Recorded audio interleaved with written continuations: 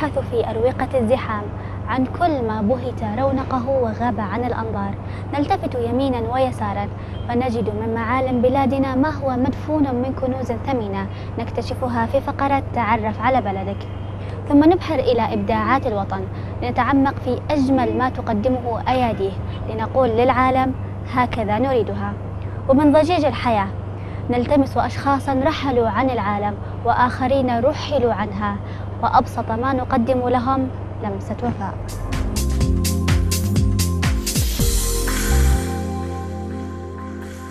قديما كان أسلوب الحديث مبطن وعاد ما يستخدمون الكنايات في التعبير عن المواقف. حتى أصبحت هذه الكنايات أمثلة تقال في مواقف مشابهة في زمننا هذا. مثلنا لهذا الأسبوع اللي ما يطول العنب حامضا عنه يقول هذا المثل متعارف عليه بشكل كبير لكن هل يفهمه الجميع؟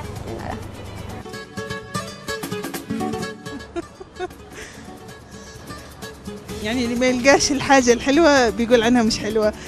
زي آه، اللي إيش يشوف الورد؟ آه، إيش يقول فيه شوك؟ لا والله ما أدري الشيء أنا ما أدري. هذه ما يوصلش للحاجة المليحة. يقول عليها حامل.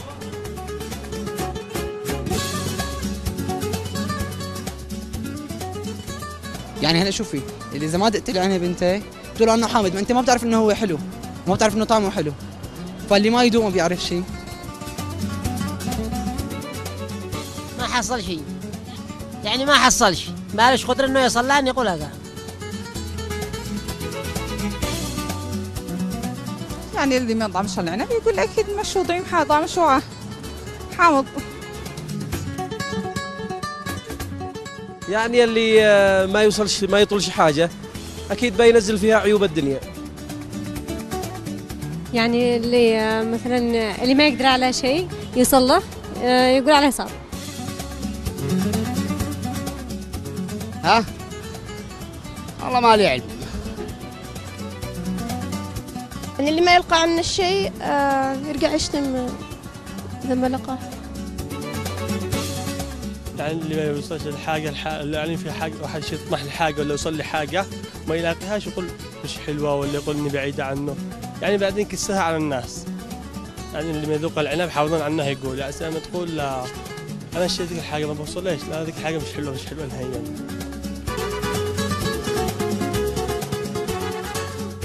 اللي يشتي يوصل مثلا لهدف معين وما وصلوش يعني يرجع يطلع له إنه مش حلو انه كذا اللي ما يقدر الحاجة يوصل لها يرجع يقول هذه حاجة ما يعني يدي فيها عيب يقول لي. اللي ما يجربش الحاجة يقول عنها إني سيئة. هذا معناه. هذه ما يعرفش قيمة الشيء ما يقدرش يحدد يعني قيمته ما قد جربش. مثل شعبي يقول اللي ما يذوق العنب حامضا عنه يقول إيش يعني؟ ندري والله أنا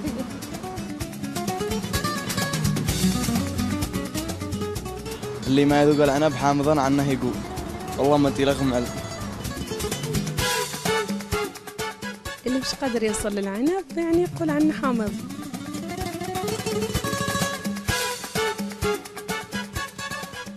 يعني إنه الشيء اللي ما بيقدرش الإنسان يحصله يحاول إنه يجد له مبرر آه، بحيث إنه يبرر لنفسه أو للاخرين آه، عدم قدرته على الحصول على الشيء تقريبا الشخص اللي هو عاجز إنه يشتري زي كذا بدال يقنع نفسه.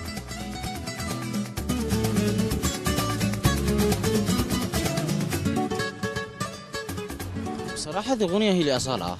بس ما دخل له عنب ما قدرش تصل له بدخل له حامض ما قدرش.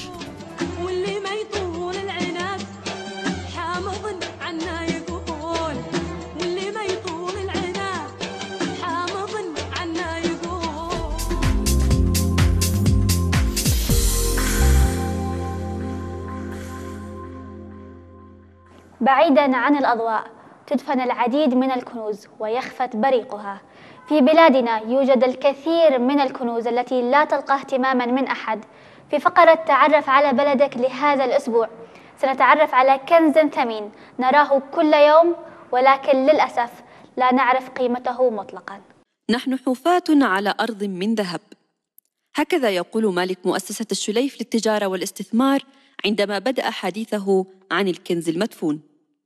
قطاع التعدين. القطاع اليتيم كما يطلق عليه أحمد الشليف قائلا أن اليتيم هو الذي لا راعي له كذلك المعادن والأحجار في اليمن كنز لا راعي له.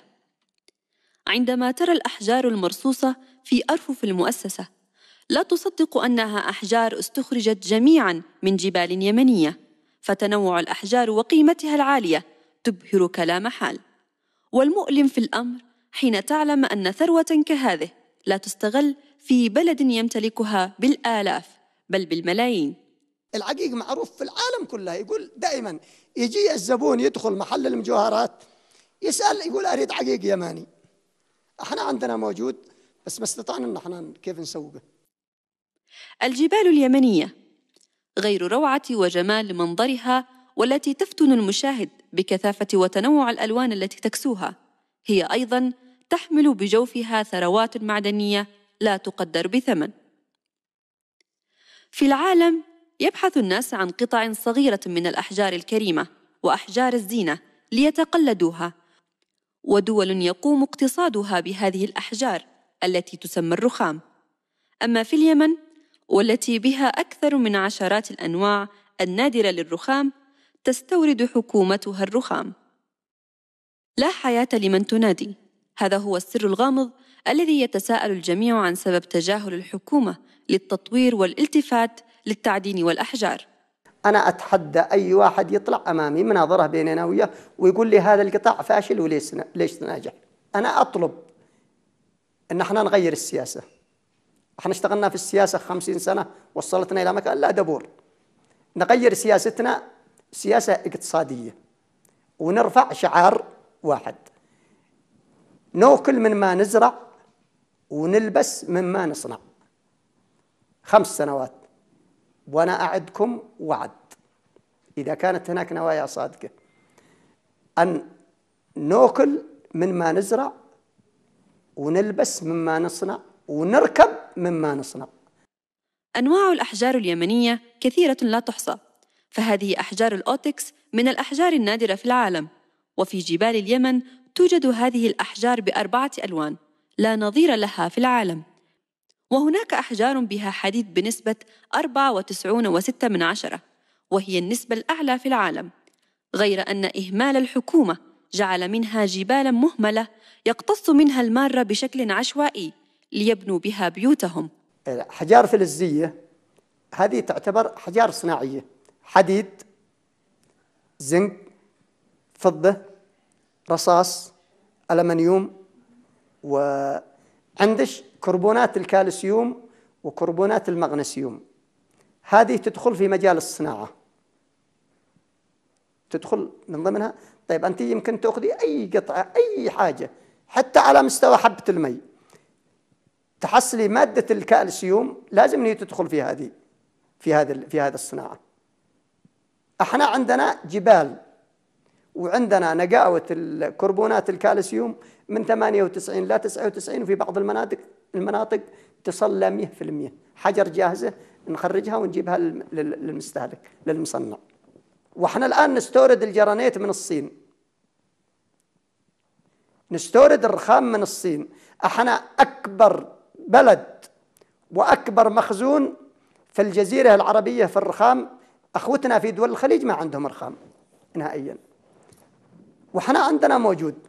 ونستورده من الصين ومن إيطاليا ومن أسبانيا ومن تركيا ومن أي دولة أي دولة تنتج إحنا إحنا بلد مس إحنا بلد مستورد. نستورد كل شيء. وفي مرة من المرات قلت لهم باقي علينا إن إحنا نستورد شعب صيني. الأحجار الكريمة وأحجار الزينة. تستطيع أن تلتقطها في رحلتك إلى تسلق جبل في اليمن. وتكاد ترى من الصخور الملونة ما يكفي لبناء بيوت وعمارات. وتحتفظ بما يكفي لتصنع بها زينة أو حلي ومجوهرات. الشيخ أحمد الشليف هو مؤسس مؤسسة الشليف للتجارة والاستثمار والذي يعمل في قطاع التعدين. له بوابة بألوان علم اليمن صنعها من أحجار يمنية.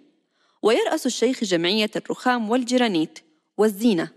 يقول أن قديما كانت اليمن هي المستقر في رحلة الشتاء والصيف وتظهر معالم هذه الرحلات في الصحراء. رحلة الشتاء والصيف هي من عندنا ومعالمها الآن في الصحراء موجودة. كانوا حاطين لهم يسموها البدو الآن الأميرية. كانوا حاطين لهم على أساس مته القوافل في الصحراء.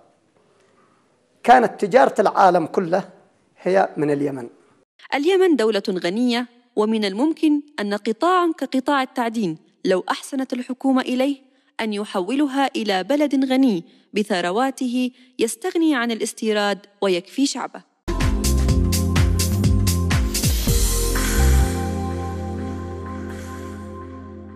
أول شروط النهضة لأي بلد في العالم هو الاهتمام بالتعليم والثقافة ومن مظاهر تطور التعليم هو وجود مراكز ثقافية وفنية. للأسف هذه الأماكن تندر جدا في بلادنا لكن هناك مركز ومنتدى فريد من نوعه خاص بالفنون التشكيلية. هذا المنتدى أهدافه ومشاريعه وأفكاره المستقبلية نتعرف عليها في التقرير التالي. الفن هو مقياس تقدم وتحضر الشعوب. كونما خلد أعرق الحضارات كالفرعونية والبابلية وغيرهما الفن هو حكايات الأمم ومنبع التاريخ. قد يستهين البعض بالفنون كالرسم والتشكيل لكن سرعان ما يأخذ الفن مكانته رغما عن أنف الجهل. الرسم والتشكيل فن يحتاج إلى أنامل ذهبية ومخيلة مبدعة وأفكار خصبة. أعمالنا الفنية بنختار مدرسة اللوحة قبل ما نبدأ نستعرض الفكرة. عندنا اللوحة هذه بيشتغلها بالم- بالمدرسة ال- الواقعية اللي هي بيتجرد فيها الفنان من أسلوبه بشكل عام. غالبا في المدرسة الواقعية اللي اللي بن- بنحتاج إن إحنا نش- نشتغل فيه آه، شيء من صورة حاجة واضحة جدا. ما ما بنضطرش إن إحنا نستخدم فيها أي آه، شيء من خيالنا. في هذا المكان تعطر اللوحات جدران وأروقة المبنى. هو منتدى للفنون التشكيلية والرسم. يضم أكثر من ثلاثين عضو ويقيم الفعاليات والمعارض محليا ودوليا. يتوافد إليه الرسامون والمحبون للفنون ليجدوا مأوى لأفكارهم وملهما لمواهبهم. لا يحتوي المنتدى فقط على رسامين ولكن أيضا يستقطب كل هواة الرسم من يحلمون بصقل مواهبهم أو تعلم فنون التشكيل والتلوين. وجود الفنان في هذا المكان هو بيعمل آه، ترويج فإحنا بنستفيد عادة من الطلاب بنستفيد أيضا من الفعاليات اللي بنقيمها سواء مع العاصمه أو مع شركات خاصة أو مع منظمات. بعض الطلاب طبعا بيقول عندنا وعندهم إمكانيات نوعا ما بسيطة فإحنا بننميها أكثر. بعض الطلاب بيقول عندنا وما فيش عنده أي إمكانيات فإحنا بنحاول برضه أيضا نوجد في الموهبه وبعدها بنصقلها إلى أن لها مرتبة لا بأس بها. لا يخفى عن العالم أن الفنان والرسام لابد وأن يواجه تحديات فلكل فن ضريبة. وهنا في اليمن لا يحفل الكثير بالمواهب والفنون فغالبا ما يعمل الفنان في الخفاء ولا تبرز أعمال الكثير إلى النور إلا من حالفه الحظ أو استطاع أن يقيم معرضا في الخارج. بالنسبة للصعوبات تواجهنا صعوبات كثيرة من الوزارة.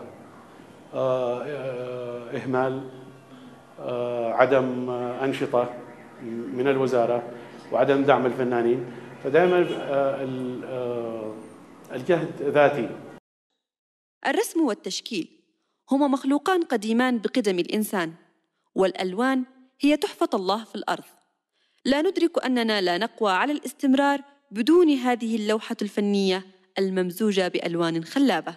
لا يلقى المنتدى العربي للفنون التشكيلية اهتماما كافيا من قبل وزارة الثقافة وبالرغم من ذلك استطاع أن يقيم الكثير من المعارض والفعاليات المحلية والدولية.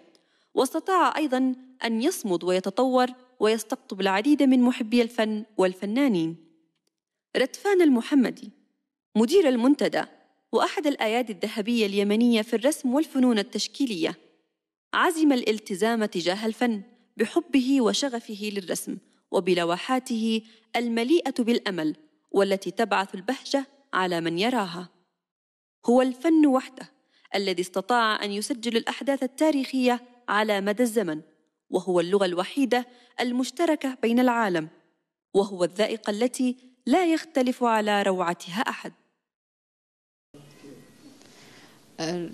الآن بنساعد المتدربين اللي هم أقل مستوى وبناخذ بنجيب لهم فكرة أكثر أو أعمق. آه، بننقل لهم الأفكار اللي هي موجودة معنا. أنا بقى لي هنا في المنتدى آه، يمكن يزيد عن الستة شهور. استفدت آه، أشياء يعني كثيرة من آه، علم المنظور التخطيط ال- آه، تقنية الرسم يعني أشياء في أشياء يعني مثل المواد هكذا مواد زيتية المواد الباستيل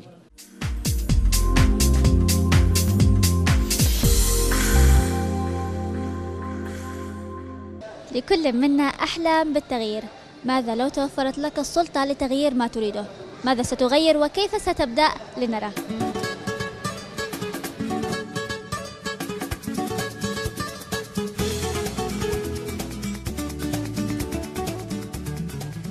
شو اللي بنغيره؟ يعني بنغير الوضع الحالي الموجود. مثل إيش آه، للشباب. يعني يحاولوا إنه يطوروا من أنفسهم بالنسبة تكنولوجيا علميا. يدرسوا يعني آه، مواد اللي تأهلهم إنهم يتحصلوا على وظائف بسهولة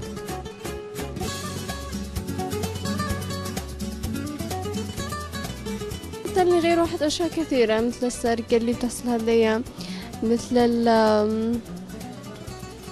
أشياء يعني إحنا صرنا في اليمن كيف بتغيريها؟ هو صعب خاصة في مجتمعنا اليمني بس والله نغير زي ما تقولي بالنظام والقانون يعني بالأسعار وبالمشاكل الداخلية داخل البلاد.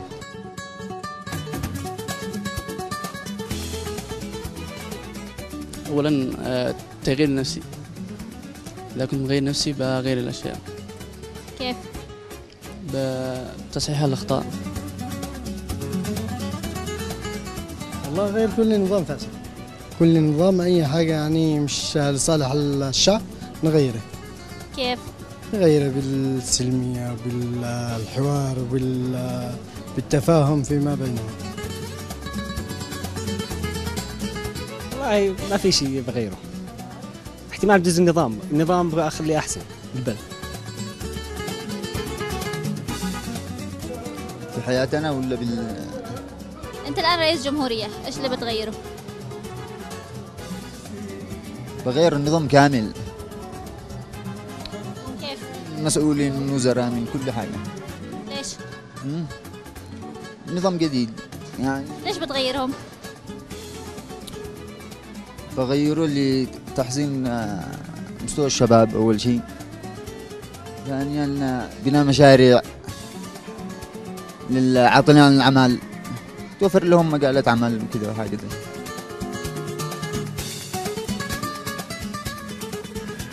الدولة رأيي الشخصي. زوجتي. ممكن أتكلم بحرية ولا لا؟ بغير نظام كثير في الدولة بصراحة بغير في المجتمع أول شيء التعليم المرافق الصحية وأهم شيء المرافق الرياضية. حقوق المرأة لا تهان ولا ولا نستطيع أن نستغني عنها أبدا. والله يوفقنا بأي شيء آخر. وكيف بتغير هذه الأشياء؟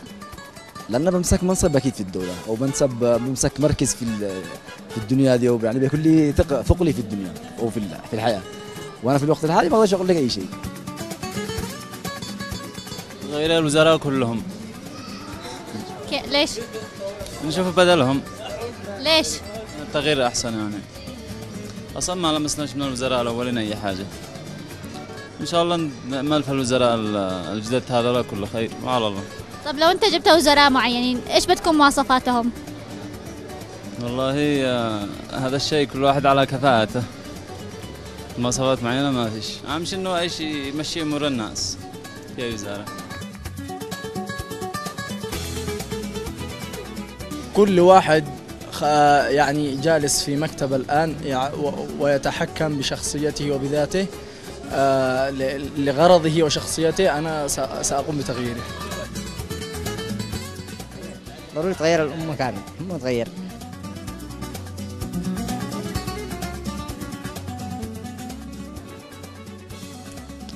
تغيير شامل يعني. تغيير شامل.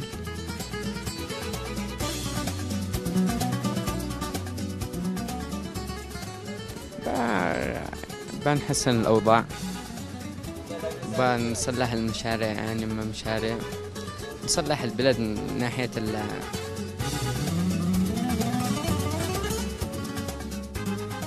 الليلة وفي اليمن القاتل بمنع بيعه. بشكل عام إنه أول شيء كافح الفساد.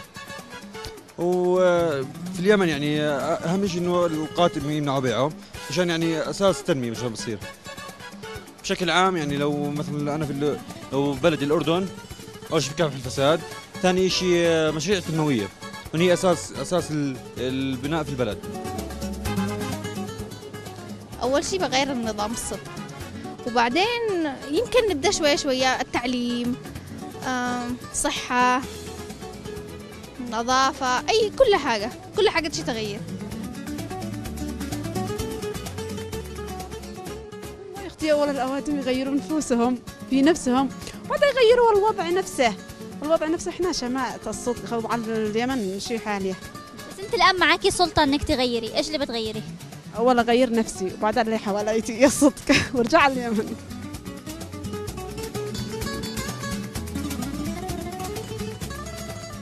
أي حاجة تفيد لنا المواطن تتغير. يعني مثلا الأسعار تتغير تتنقص كل حاجة. في أشياء كثيرة تتغير بس التغير ما تجي من مرة واحدة. حبة حبة حتتغير الوضع. إيش اللي بتبدا فيه؟ والله أنا ما أقدر أغير شيء. الناس الناس اللي تحتاجه. أنت الآن صاحب سلطة. إيش اللي بتبدأ تغيره؟ صاحب السلطة ما تاخذ قرارات نفسه شوف الناس تختار الناس اللي تبغاه. يعني مثلا أنا أقول لك يعني مثلا كنت صاحب سلطة أنت إيش تبغي تختار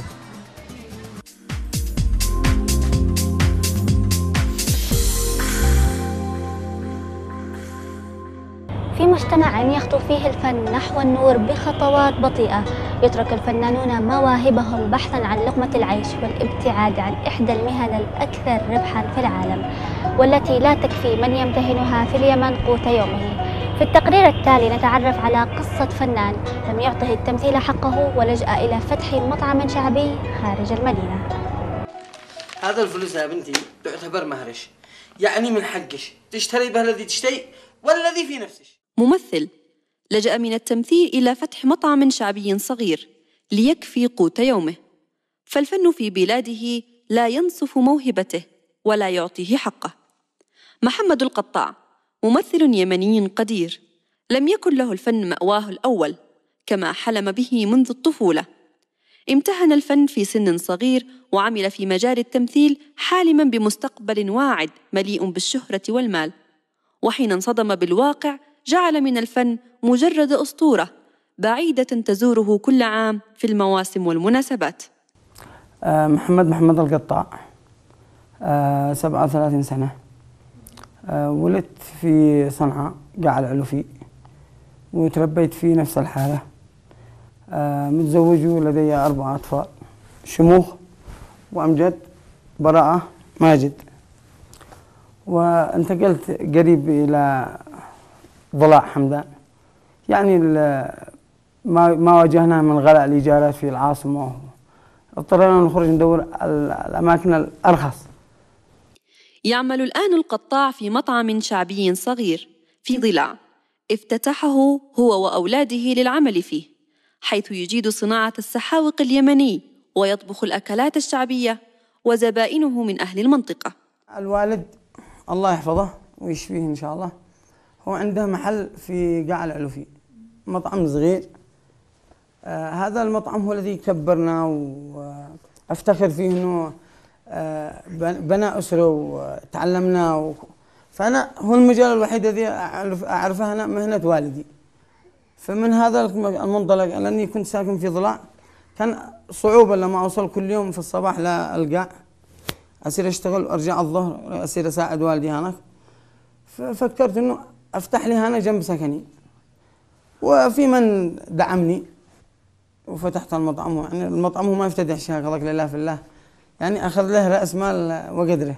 عائلته وأولاده يفخرون به ويملكون طموحه ويستمتعون بمشاهدة والدهم على التلفاز حين يظهر في رمضان. يمتلكون نفس الموهبة ويحلمون بالهواية ذاتها.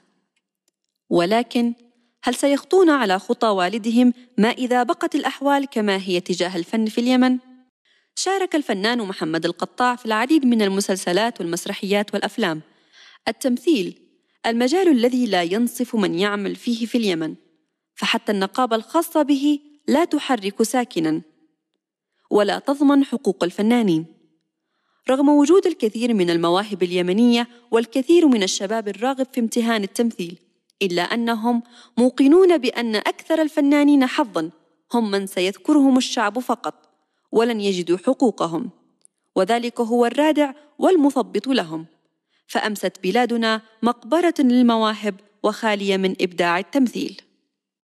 أعزائي وصلنا إلى نهاية فقراتنا. كنا نتمنى أن يطول الوقت أكثر لنتعرف على المزيد والمزيد. لكن بالتأكيد معنا كل جديد في كل أسبوع. انتظرونا في الحلقة المقبلة. أترككم إلى ذلك الحين. في أمان الله ورعايته.